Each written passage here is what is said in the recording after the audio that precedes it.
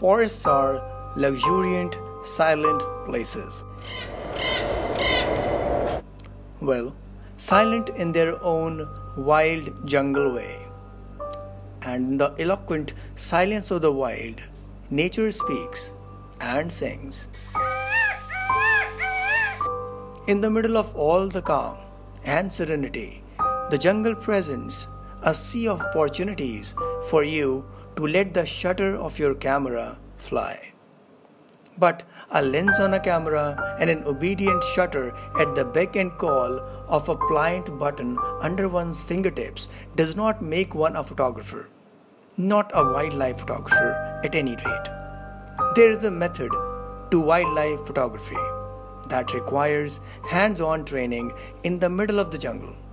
So let's take you to Kanha Tiger Reserve for a workshop to initiate you into wildlife photography without putting a lot of burden on you. Consider it a learning vacation, which involves learning photography under the guidance of the mentors during the day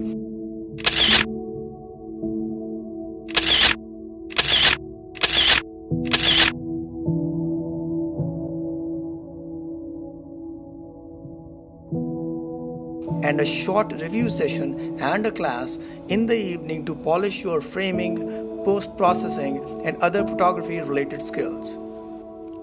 The workshop begins on January 22, 2021 and ends on January 25, 2021. You'll be staying at Kanha Earth Lodge by Pagdandi Safaris